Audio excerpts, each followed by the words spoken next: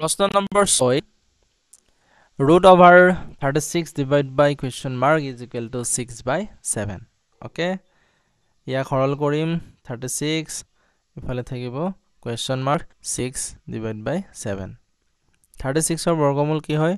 ছয় আৰু ইয়াৰ এইভাগে থাকি যাব আৰু এইফালে হ'ব ছিক্স বাই ছেভেন চ' এনেকৈ থাকিলে আমি কৰিম। বজ্ৰ পূৰণ কেনেকৈ কৰা হয়? কুৱেশ্যন মাৰ্ক আৰু এইফালে ছিক্স ছিক্স ইনটু ছেভেন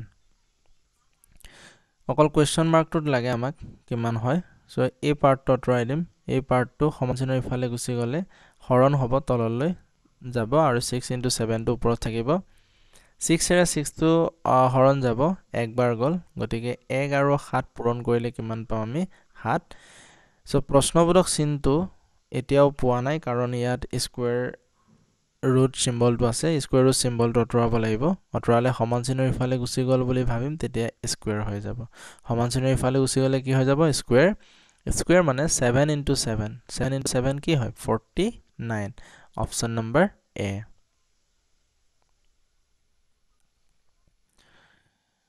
সাত নম্বৰ প্ৰশ্নত আছে root over one sixty nine plus root over one forty four minus root over one sixty nine ইয়াত কৰিবলগীয়া একোৱেই নাই। এই গোটেইখিনিক যোগ আৰু বিয়োগ কৰিলে কিমান হ'ব উলিয়াবলৈ কৈছে। ইয়াত ওৱান ছিক্সটি নাইন আছে ইয়াতো ওৱান ছিক্সটি নাইন আছে মানে একে আছে। এতিয়া চাম ইয়াৰ আগত কি চিম্বল আছে? বিয়োগ আছে। আৰু ইয়াৰ আগত কি আছে? যোগ। চ' মাইনাছ আৰু যদি মাইনাছ আৰু যদি প্লাছ থাকে তেতিয়া দুয়োটাকে আমি কাটি দিব পাৰিম। থাকিলে আমাৰ only plus one forty four one forty ফ'ৰৰ বৰ্গমূল কি হয়? বাৰ। ইয়াৰ শুদ্ধ উত্তৰটো কি হ'ব? অপশ্যন নম্বৰ বি আঠ নম্বৰ প্ৰশ্নত আছে root over seventy two seventy two পূৰ্ণবৰ্গ সংখ্যা নহয়। ঠিক আছে পূৰ্ণবৰ্গ সংখ্যা নহয়। কিয় নহয়? কাৰণ আঠ আঠ গুণ ছষষ্ঠি বুলি পাব পাৰোঁ ন ন গুণ একাশী বুলি পাব পাৰোঁ কিন্তু ছেভেণ্টি টু মাজতে থাকি গ'ল কিন্তু আমি নাপালোঁ। গতিকে পূৰ্ণবৰ্গ সংখ্যা নহয়। পূৰ্ণবৰ্গ সংখ্যা নহ'লেও আমি কি উলিয়াব পাৰোঁ? বৰ্গমূল উলিয়াব পাৰোঁ। বৰ্গমূল উলিওৱাৰ দুটা নিয়ম আছিলে। এইখিনি গোটেইখিনি ডিছকাছ কৰিছোঁ পাৰ্ট ওৱানত চ' পাৰ্ট ওৱানটো গৈ একবাৰ চাই ল'ব পাৰা। পাৰ্ট ওৱানত ধুনীয়াকৈ এইখিনি কথা আলোচনা কৰা আছে। চ' দুটা নিয়ম আছিলে এটা হ'ল উৎপাদকীকৰণ আৰু এটা হ'ল দীৰ্ঘহৰণ। ইয়াক আমি উৎপাদকীকৰণেৰে কৰিবলৈ চাওঁ। যদি দুয়েৰে হৰণ কৰোঁ দুয়েৰে হৰণ কৰিলে থাৰ্টি ছিক্স তাৰপৰা আকৌ দুয়েৰে থাৰ্টি ছিক্সটো ওঠৰবাৰ ঠিক তেনেকৈ গৈ থাকিব দুয়েৰে নবাৰ তিনিৰে তিনিবাৰ। চ' ৰুট অভাৰ ছেভেণ্টি টুৰ সলনি আমি লিখিম বাহিৰত যিমানখিনি আছে গোটেইখিনি পূৰণ কৰি দিম। দুই তিনিটা পূৰণ হৈ আছে তিনি দুটা পূৰণ হৈ আছে। চ' বৰ্গমূল উলিয়াওঁতে আমি কি কৰোঁ জোৰ পাতোঁ এনেকৈ গ্ৰুপ বনাওঁ দুটাকৈ তাৰ পৰা এটা ওলাই আহিব এই তিনি দুটাৰ পৰা এটা ওলাই আহিব আৰু এই দুইটো দুই ভাগে থাকি থাকি যাব ৰুট অভাৰ টু চ' দুই তিনি গুণ কিমান হ'ব? ছয় ইনটু ৰুট টু ইয়াক লিখিব পাৰোঁ ছিক্স আৰু two so' option number A আমাৰ শুদ্ধ উত্তৰ। ন নম্বৰ প্ৰশ্নত আছে root over four thousand ninety six is equal to sixty four মানে চাৰি হাজাৰ ছিয়ানব্বৈৰ বৰ্গমূল ছিক্সটি ফ'ৰ আমাক উলিয়াবলৈ কৈছে ফৰ্টি পইণ্ট নাইন ছিক্স যদি চাওঁ এই সংখ্যা আৰু এই সংখ্যাটো একেই। জাষ্ট ইয়াত দশমিক বহোৱা আছে। গতিকে ইয়াৰ বৰ্গমূলো কি হ'ব? একেই থাকিব কিন্তু বৰ্গমূলতো আমি কি বহুৱাব লাগিব? দশমিক। দশমিক কেনেকৈ বহুৱাম? ইয়াত চাম কেইটাৰ আগত দশমিক আছে? দুটা। দুটাৰ আগত থাকিলে দুই বুলি লিখিম। চাৰিটাৰ আগত থাকিলে চাৰি বুলি লিখিম। তাৰ পৰা সদায় বৰ্গমূলৰ ক্ষেত্ৰত দুৱেৰে হৰণ কৰি দিম। দুৱেৰে হৰণ কৰিলে কি হ'ব? এক থাকিব। মানে এটাৰ আগত দশমিক বহিব six point four answer option B. দহ নম্বৰ প্ৰশ্নটোত আছে zero' point zero' one plus root over zero' point eight one plus zero' one point two one plus zero' point zero' zero' zero' nine ইয়াত দশমিক আছে দশমিক থকাৰ কাৰণে ভয় খাবলগীয়া কথা নাই। ওৱানৰ বৰ্গমূল কি হয়? ওৱানৰ বৰ্গমূল ওৱান। কিন্তু এই গোটেই সংখ্যাটো দশমিক আছিলে গতিকে ইয়াতো দশমিক বহিব এইমাত্ৰ মই শিকাইছিলোঁ। দশমিক কেনেকৈ বহুৱাম কেইটাৰ আগত দশমিক বহিব? ইয়াত দুটাৰ আগত আছে দুটাৰ আগত থাকিলে দুই বুলি লিখিম আৰু দুয়েৰে হৰণ কৰিম তেতিয়া এক থাকিব মানে এটাৰ আগত দশমিক বহিব। ঠিক এনেকৈ এইটটি ওৱানৰ বৰ্গমূল কি হয়? নাইন আৰু দশমিক বহিব এটাৰ আগত। ওৱান টুৱেণ্টি ওৱানৰ বৰ্গমূল কি আছিলে? এঘাৰ দশমিক আছে দশমিক কেইটাৰ আগত বহিব? এটাৰ আগত। নৰ বৰ্গমূল কি হয়? তিনি কিন্তু ইয়াত দশমিক আছে ইয়াতো দশমিক বহিব। দশমিক কেইটাৰ আগত বহিব? ইয়াত চাৰিটাৰ আগত আছে চাৰি লিখিম আৰু দুয়েৰে হৰণ কৰিম। কিমান পালোঁ? দুয়েৰে হৰণ কৰিলে দুই মানে দুটাৰ আগত দশমিক বহিব এটা দুটা ইয়াত শূন্য লগাম তাৰপৰা দশমিক বহুৱাম ঠিক আছে? নেক্সট এতিয়া এই গোটেইখিনি যোগ কৰি দিম। জিৰ' পইণ্ট ওৱান দশমিকৰ পোনে পোনে দশমিক বহিব zero' point nine one point one zero' point zero' three তিনিৰ ওপৰত একো নাই গতিকে তিনিবাৰকৈ থাকিব। ন নয় দুৱে এঘাৰৰ এক এক উকলিব দশমিকৰ পোনে পোনে থাকিব। এক একে একে। দুই two point one three option number D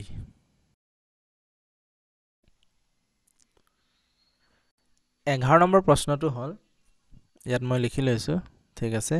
One one two divide by root over one ninety six into root over five seven six divide by twelve ওপৰত এশ বাৰ থাকিব আৰু তলত ওৱান নাইণ্টি ছিক্সৰ বৰ্গমূল কি হয়? চৈধ্য হয়। ফাইভ ছেভেন ছিক্সৰ বৰ্গমূল কি হয়? চৌবিছ হয় আৰু তলত থাকিব বাৰ।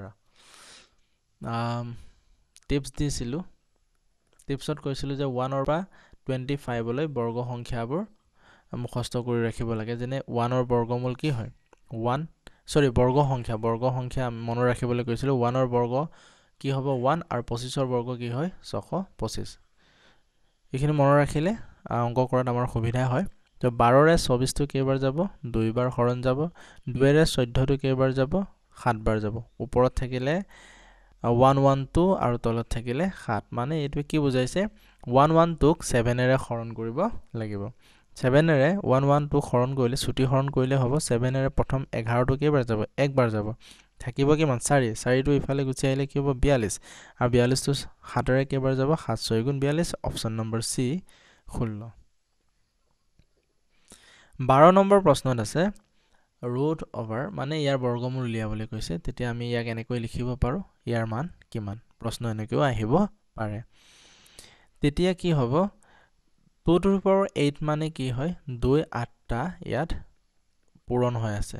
দুই আঠটা কি হৈ আছে? পূৰণ হৈ আছে। গতিকে দুই আঠটা আমি পূৰণ কৰি দেখুৱাম। এতিয়া কি কৰিম?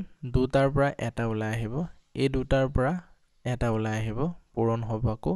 এই দুটাৰ পৰা এটা ওলাই আহিব। এই দুটাৰ পৰা এটা ওলাই আহিব। মুঠ দুই চাৰিটা পূৰণ হৈ আছে। দুই দুগুণ চাৰি দুই দুগুণ চাৰি চাৰি চাৰি গুণ ষোল্ল। আৰু ইয়াৰ এনচাৰটো কি হ'ব? অপশ্যন নম্বৰ ডি তেৰ নম্বৰ প্ৰশ্নত আছে ছেভেন টুৱেণ্টিৰ লগত কি সৰু সংখ্যা? আটাইতকৈ কি সৰু সংখ্যা পূৰণ কৰিলে পূৰণফলটো এটা পূৰ্ণবৰ্গ সংখ্যা হ'ব। পূৰ্ণবৰ্গ সংখ্যা মানে ধৰা তিনি পূৰ্ণবৰ্গ সংখ্যা হয়নে নহয়? চাওঁ। ওৱান ইণ্টু ওৱান কি হয়? ওৱান ওৱানক আমি পূৰ্ণবৰ্গ সংখ্যা বুলি ক'ম। Two into two is equal to কিমান হয়? ফ'ৰ ফ'ৰক আমি পূৰ্ণবৰ্গ সংখ্যা বুলি কওঁ। তিনি আমি ইয়াত পাব পাৰিলোঁ জানো? তিনি পাব পৰা নাই গতিকে তিনি পূৰ্ণবৰ্গ সংখ্যা নহয়। ঠিক একেদৰে ছেভেন টুৱেণ্টিও পূৰ্ণবৰ্গ সংখ্যা ইয়াত ডাইৰেক্ট কৈ দিছে পূৰ্ণবৰ্গ সংখ্যা নহয়। গতিকে ইয়াৰ লগত কি পূৰণ কৰিলে পূৰ্ণবৰ্গ সংখ্যা হ'ব? তাৰ আগতে চাই লওঁ পূৰ্ণবৰ্গ সংখ্যাৰ বৰ্গমূল আমি কেনেকৈ উলিয়াওঁ? ছাপ'জ ছিক্সটিনৰ আমি উলিয়াব লাগে বৰ্গমূল। ছিক্সটিনৰ বৰ্গমূল উলিয়ালে ইয়াত দুই কেইটা পূৰণ হৈ আছে চাৰিটা পূৰণ হৈ আছে। তেতিয়া আমি কি কৰোঁ? গ্ৰুপ গ্ৰুপ গ্ৰুপৰ পৰা মানে দুটাৰ পৰা এটা উলিয়াই আনো আৰু এই দুটাৰ পৰাও এটা উলিয়াই আনো। তেতিয়া ইয়াৰ বৰ্গমূল কি বুলি ক'ব পাৰোঁ? চাৰি। মানে ইয়াত যদি দুই দুটা থাকে পূৰণ তেতিয়া এটা উলিয়াই আনো। ঠিক আছে? গ্ৰুপত যদি দুটাকৈ থাকে তেতিয়া আমি পূৰ্ণবৰ্গ সংখ্যা বুলি ক'ব পাৰোঁ। কিন্তু যদি এনেকৈ থকা হ'লে two into two into two মানে two into two into two এইটো কি হয়? এইট হয়। ঠিক আছে? এইট পূৰ্ণবৰ্গ সংখ্যা নহয়। কাৰণ এই দুয়ৰ জোৰ আছে কিন্তু এই দুইটোৰ জোৰ নাই। জোৰ থাকিব লাগে তেতিয়াহে পূৰ্ণবৰ্গ সংখ্যা হ'ব। চ' ছেভেন টুৱেণ্টিৰ আমি মৌলিক উৎপাদকীকৰণ প্ৰক্ৰিয়াৰে বৰ্গমূল উলিয়াবলৈ চাম। ছেভেন টুৱেণ্টি ছেভেন টুৱেণ্টি দুহেজাৰ দুই ছয়ত্ৰিছ চং আৰু এইফালে দুই ওঠৰ ঠিক আছে? দুই ন গুণ ওঠৰ তিনি ত্ৰিছ চং নব্বৈ তিনি দহ গুণ ত্ৰিছ ঠিক আছে। আৰু এইফালে দুই পাঁচ গুণ দহ। ইয়াত দুই এইফালে জোৰ আছে। এই দুয়ৰ ইয়াত এটা আছে জোৰ আছে। তিনিৰ জোৰ আছে কিহৰ জোৰ নাই? পাঁচৰ জোৰ নাই। মানে আৰু এটা পাঁচ পূৰণ হৈ থকা হ'লে এই ছেভেন টুৱেণ্টিটো কি হৈ যাব? পূৰ্ণবৰ্গ সংখ্যা হৈ গ'লহেঁতেন। ঠিক আছে গতিকে কিমান পূৰণ কৰিব লাগিব? চি পাঁচ। চৈধ্য নম্বৰ প্ৰশ্নত আছে এইটো প্ৰশ্ন ভেৰি ইম্পৰ্টেণ্ট কাৰণ আগত আহিছে পৰীক্ষাত। ওৱান ছেভেণ্টি ফাইভৰ পৰা আটাইতকৈ সৰু কি সংখ্যা বিয়োগ কৰিলে বিয়োগ ফলটো এটা পূৰ্ণবৰ্গ সংখ্যা হ'ব? ইয়াৰ আগৰ প্ৰশ্নটো আছিলে কি পূৰণ কৰিলে? ইয়াত আহিলে কি বিয়োগ কৰিব লাগিব? ঠিক আছে? গতিকে ওৱান ছেভেণ্টি ফাইভক আমি এই ক্ষেত্ৰত কি কৰিম? দীৰ্ঘহৰণেৰে ইয়াৰ বৰ্গমূল উলিয়াম। বৰ্গমূল উলিয়াওঁতে সোঁফালৰ পৰা দুটাকৈ গ্ৰুপ বনাই আনিব লাগে আৰু এইফালে কেৱল এটা আছে গতিকে এক ভাগে থাকিব। ইয়াত যিটো লিখা হয় ওপৰতো সেইটোৱে লিখিব লাগিব মানে এক এক গুণ এক। বেলেগকৈ আৰু নাযায়। ছেভেণ্টি ফাইভ ছেভেণ্টি ফাইভ থাকিলে। আৰু দুই নম্বৰ নিয়মটোত কৈছিলোঁ যে ওপৰত যিয়েই নাথাকক হাণ্ড্ৰেডেই হওক ওৱান লাখছেই হওক বা এক কোটিয়েই হওক সদায় দুই পূৰণ কৰিম। চ' ওপৰত এক আছে একৰ লগত দুই পূৰণ কৰিলে কি হ'ব? এক দুই গুণ দুই। আৰু ইয়াত যিটো লিখা হয় ইয়াত আমি ওৱানৰ পৰা নাইনৰ ভিতৰত যিকোনো অংক লিখি দিওঁ। যদি এক লিখোঁ ওপৰতো এক লিখিব লাগিব। আৰু ওপৰত লিখা এক আৰু ইয়াত টুৱেণ্টি ওৱান পূৰণ কৰি এই সংখ্যাটো ওলাব লাগিব। ইয়াত আমি কি দিলে ওলাব চাওঁ। যদি তিনিবাৰ দিওঁ তিনিবাৰ দিলে তিনি তিনি গুণ ন তিনি দুই গুণ ছয় ছিক্সটি নাইন কমি আছে হয়নে? যদি চাৰিবাৰ দিওঁ চাৰি চাৰি গুণ ষোল্ল চাৰি দুগুণ আৰে কেনে চাৰিবাৰ দিব নোৱাৰোঁ চাৰিবাৰ দিলে বেছি হৈ যায়। গতিকে তিনিবাৰ দিম। কেইবাৰ দিম? তিনিবাৰ। তিনিবাৰ দিলে কি হয়? তিনি তিনি গুণ ন আৰু তিনি দুই গুণ ছয় ছিক্সটি নাইন। চ' পোন্ধৰৰ পৰা ন গ'লে কিমান থাকিব? ছিক্স। আচ্ছা বাকী কিমান থাকিলে? ছিক্স থাকিলে। এই ছিক্সটো নথকা হ'লে সেই গোটেই সংখ্যাটো ছিক্সটো নথকা হ'লে আমি গোটেই সংখ্যাটো কি ক'ব পাৰিলোহেঁতেন এটা পূৰ্ণবৰ্গ সংখ্যা বুলি ক'ব পাৰিলোহেঁতেন। ছিক্স বাঢ়ি আছে গতিকে ছিক্স কমাব লাগিব। ছিক্স কমোৱা মানে কি? বিয়োগ কৰা। গতিকে কিমান বিয়োগ কৰিব লাগিব? অপশ্যন নম্বৰ চি ছয় বিয়োগ কৰিব লাগিব। পোন্ধৰ নম্বৰ প্ৰশ্নটো এইটো ইম্পৰ্টেণ্ট প্ৰশ্ন হয়। এখন ফুলৰ বাগিচাত তিনি হেজাৰ ছশ বা ফুল শাৰী শাৰীকৈ আছে। এনেকৈ শাৰী শাৰীকৈ কেইটা শাৰী আছে? আমি নাজানো। কিন্তু টোটেল গোটেই ইয়াত কিমান কিমান পা ফুল আছে কৈছে তিনি হেজাৰ ছশ। ঠিক আছে। প্ৰতিটো শাৰীত থকা ফুলৰ সংখ্যা মানে এই শাৰীত এনেকৈ থাকিব কিমান থাকিব এইটো আমাক কোৱা নাই ঠিক আছে। কৈছে প্ৰতিটো শাৰীত থকা ফুলৰ সংখ্যা মুঠ শাৰীৰ সমান। মানে যিমানটা শাৰী আছে যদি দহটা শাৰী হয় এইফালে যদি দহটা শাৰী হয় তেতিয়া এটা শাৰীত দহটা ফুল থাকিব বুলি কৈছে। কিন্তু ইয়াত আমাক দহৰ দহ বুলিও কোৱা নাই। যদি দহ বুলি কোৱা নাই তেতিয়া আমি ধৰি ল'ম কি বুলি? এক্স আমাক কি হয় উলিয়াবলৈ কৈছে শাৰীৰ সংখ্যা। শাৰীৰ সংখ্যা আমি ধৰি লৈছোঁ এক্স যদি শাৰীৰ সংখ্যা এক্স হয় প্ৰতিটো শাৰীত কিমানকৈ থাকিব? প্ৰতিটো শাৰীত এক্স থাকিব। মানে এইফালে এক্সটা শাৰী হ'ব আৰু এইফালেও কি হ'ব? এক্সটা এক্সটা কি থাকিব? ফুল থাকিব। ঠিক আছে? এতিয়া মই ধৰি লৈছোঁ এইফালে ধৰা দহটা শাৰী আছে আৰু এইফালে দহ পা প্ৰতিত প্ৰতিটো শাৰীত কেইপা আছে দহ পা ফুল আছে। ঠিক আছে? তেতিয়া মুঠ ফুল ইয়াত কিমান আছে ক'লে আমি কি কৰোঁ? দহ পূৰণ দহ মানে এশ কৰি দিওঁ। দহ আৰু দহ পূৰণ কৰিলে এশ হৈ যায় এশ পা ফুল আছে বুলি কওঁ। ইয়াৰ ক্ষেত্ৰত আমি কেনেকৈ উলিয়াম? যিহেতু এক্স আৰু এক্স এইফালে শাৰীৰ সংখ্যা এক্স ধৰিলোঁ আৰু প্ৰতিটো শাৰীত এক্সটা ফুল আছে বুলি ধৰিলোঁ। এতিয়া এইফালে আছিলে চৰি ইয়াত লিখিম এক্স আৰু এইফালে আছিলে এক্স এই এক্স আৰু এক্স পূৰণ কৰিলে টোটেল যিমান ফুল আছে গোটেইটো ওলাই যাব। মানে এক্স আৰু এক্স পূৰণ কৰিলে টোটেলটো ওলাব আৰু টোটেলটো আমাৰ কিমান হয়? তিনি হেজাৰ ছশ আছে। এক্স আৰু এক্স কিবা এটা মনত পৰিছেনে যে দুই আৰু দুই পূৰণ কৰিলে ইয়াক আমি কি বুলি লিখিব পাৰোঁ? টু স্কুৱেৰ মানে দুইৰ বৰ্গ বুলি লিখোঁ। ইয়াকো আমি কি লিখিম? এক্স স্কুৱেৰ লিখিম। ঠিক আছে। X square is equal to three six zero' zero' আমাক অকল এক্সৰ মানটো লাগে মানে শাৰীৰ সংখ্যা। গতিকে এই স্কুৱেৰ চিনটো আঁতৰাই দিম। এই স্কুৱেৰ চিনটো সমান চিনৰ সিফালে গ'ল বুলি ভাবা। যদি ভবা হয় তেতিয়া এই স্কুৱেৰটো ইফালে গুচি গ'লে বৰ্গমূল চিন হ'ব three six zero' zero' so' three six zero' zero' বৰ্গমূল কি হয়? থাৰ্টি ছিক্সৰ বৰ্গমূল ছয় আৰু এই শূন্য দুটা থাকিলে আমি এটা শূন্য লগাম। ছিক্সটি অপশ্যন নম্বৰ ষোল্ল নম্বৰ প্ৰশ্নটো হ'ল ছেভেনৰ ঘন কিমান? ছেভেনৰ ঘন মানে ছেভেন কিউব। ছেভেন কিউব মানে সাত তিনিটা ছেভেন তিনিটা পূৰণ হৈ আছে। ছেভেন তিনিটা পূৰণ কৰিলে আমি কিমান পাওঁ? Three forty three. Answer B option number B. আৰু এই চিম্বলটো কোৱা হ'ব ঘনমূলৰ চিম্বল। সোতৰ নম্বৰ প্ৰশ্ন আছে ছেভেন টুৱেণ্টি নাইনৰ ঘনমূল কিমান? মানে ইয়াক এনেকৈও লিখিব পাৰে। ঠিক আছে? তেতিয়া আমি কেনেকৈ উলিয়াম?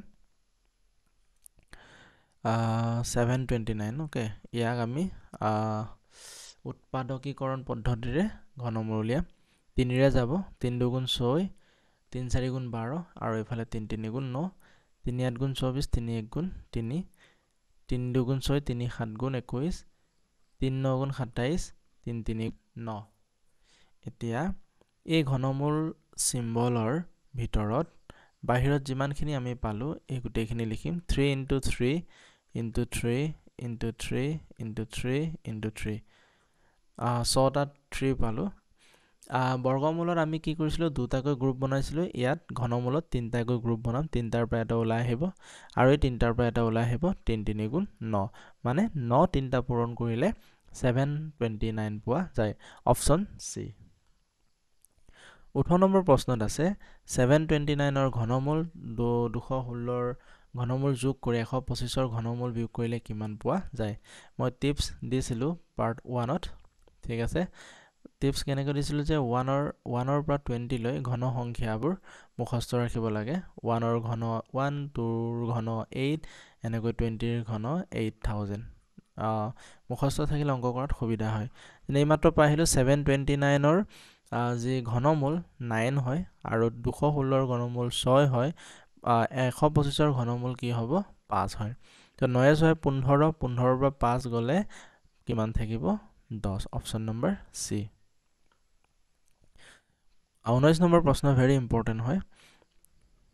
ঠিক আছে ইম্পৰ্টেণ্ট হয়। ফ'ৰ থাৰ্টি টুৰ লগত আটাইতকৈ কি সৰু সংখ্যা পূৰণ কৰিলে পূৰণফলটো এটা ঘন সংখ্যা হ'ব? চ' ফ'ৰ থাৰ্টি টুক আমি মৌলিক উৎপাদকীকৰণ কৰিম। দুই দুগুণ চাৰি ইফালে দুই এক গুণ দুই দুই ছয় গুণ বাৰ দুই দহ গুণ বিছ দুই আঠ গুণ ষোল্ল হ'ব দুই পাঁচ গুণ দহ দুই চাৰি গুণ আঠ টু টুৱেণ্টি ছেভেন হ'ব এইটো তিনি ন গুণ সাতাইছ তিনি গুণ ন। আচ্ছা ঘনমূলৰ ক্ষেত্ৰত ঘন সংখ্যা হ'বলৈ হ'লে অ'কে ইয়াত আমি গ্ৰুপ বনাম কি কৰিম তিনিটা তিনিটা থাকিব লাগে দুই কেইটা আছে তিনিটা আছে ইয়াত আৰু ইয়াত তিনি তিনিটা আছে কিন্তু দুই আৰু কেইটা লাগিব? দুই আৰু দুটা লাগিব। মানে কিমান পূৰণ কৰিব লাগিব? দুই দুই গুণ চাৰি। লাষ্ট কুৱেশ্যন এই সংখ্যাৰ মানে one lakh eighty five thousand one hundred ninety থ্ৰীৰ ঘনমূল যদি ফিফটি ছেভেন হয় ইয়াৰ ঘনমূল কি হয়?